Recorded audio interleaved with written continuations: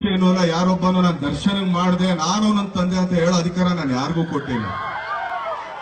ನೂರೈವತ್ತು ರೂಪಾಯಿಂದ ಹಿಡಿದು ಕೋಟಿ ರೂಪಾಯಿವರೆಗೂ ಬರೋದಕ್ಕೆ ನಾನ್ ಪಟ್ಟಿ ಶ್ರಮ ನನಗೆ ಗೊತ್ತದು. ಹಾಗಂತೇಳಿ ನೀವು ಮಾಡ್ರಿ ಅದನ್ನ. ಜೀವನದಲ್ಲಿ ಅಳವಡಿಸ್ಕೊಳ್ರಿ. ಒಂದ್ ದಯ ಹಿಡ್ಕೊಳ್ರಿ ಎರಡು ದೋಣಿ ಮೇಲೆ ಕಾಲಿಡಕ್ ಹೋಗ್ಬೇಡ್ರಿ. ಯಾವತ್ತೂ ಅಷ್ಟೇ ಇದು ಈಸಿ ಐತೆ ಅಂತ ಹತ್ತಕ್ ಹೋದ್ರೆ ನಿಜವಾಗ್ಲೂ ತುಂಬಾ ಬೇಗ ಮುಳುಗ್ತೀರಾ? ನಮ್ ತೆಪ್ಪ, ನಮ್ ತೋಲ್ ನಮ್ ಕೈಯಲ್ಲಿತ್ತು ಅಂದ್ರೆ ನಾವು ಕೊನೆವರೆಗೂ ಹೊಡಿಬೋದು ಅದನ್ನ. ಆಮೇಲೆ ಎಲ್ರಿಗೂ ನಾನು ತುಂಬಾನೇ ಹೇಳ್ತೀನಿ. ಗುರಿನ ಅಲ್ಲೆಲ್ಲೋ ಇಡ್ಬೇಕಂತೆ.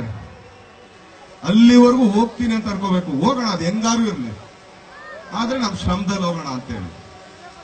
ಆದ್ರಿಂದ ಎಲ್ಲ ಯುವಕರಿಗೆ ಹೇಳೋದು, ಎಲ್ಲ ಎಚ್ಚೆತ್ಕೊಳ್ಳಿ ಎತ್ತೇಳಿ ಜೀವನದಲ್ಲಿ ತುಂಬಾ ಸಾಧನೆ ಮಾಡೋದಿದೆ.